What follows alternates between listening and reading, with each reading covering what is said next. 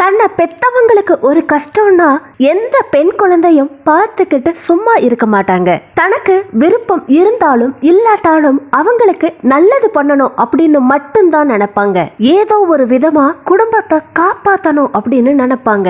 அப்படி என்ன பண்ணா இருபத்தி ரெண்டு வயசான மோனிகா குடும்பம் மொத்தத்தையும் காப்பாத்திட்டு அவ இறந்து போயிட்டா. அப்பா அம்மாக்கு அந்த கஷ்டத்தை இன்னும் தாங்க முடியல. இந்த பொண்ணு பிடெக் படிச்சுட்டு இருக்கா. இவளுக்கு நிறைஞ்சு இருபத்தி அஞ்சு வயசு கூட ஆகல. தன்னோட குடும்பத்துக்காக ரொம்ப கஷ்டப்பட்டா. தன்னோட கடைசி சுவாசம் இருக்கிற வரைக்கும் அவங்கள காப்பாத்தணும்னு நினைச்சா. அவ நினைச்ச மாதிரியே குடும்பத்தார் எல்லாத்தையுமே காப்பாத்திட்டு அவ செத்து போயிட்டா.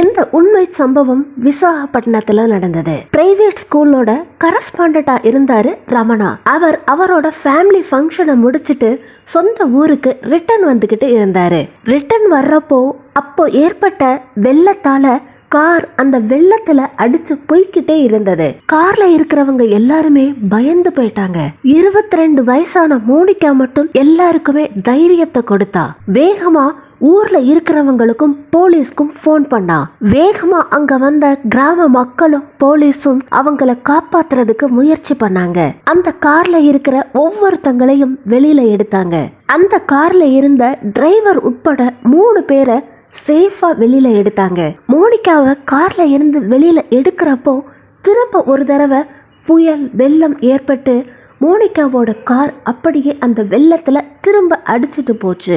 அதுக்கப்புறமா அங்க இருந்த கிராம மக்கள் தீவிரமா மோனிகாவை காப்பாத்துறதுக்கு முயற்சியில இறங்குனாங்க. ஆனா மோனிகா எங்க இருக்காங்கன்னு தெரியல. மறுநாள் காலையில தான் மோனிகாவோட உடல் கிடைச்சது.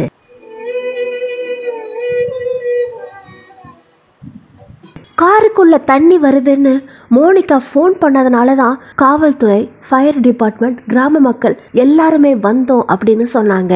எப்போ இருந்தே பிரிட்ஜ் கேட்டுக்கிட்டு தான் இருக்கும்? அதிகாரிகள் இனிமேலாவது பிரிட்ஜ் ஏற்பாடு பண்ணுங்க அப்படின்னு அந்த கிராம மக்கள் கேட்டாங்க.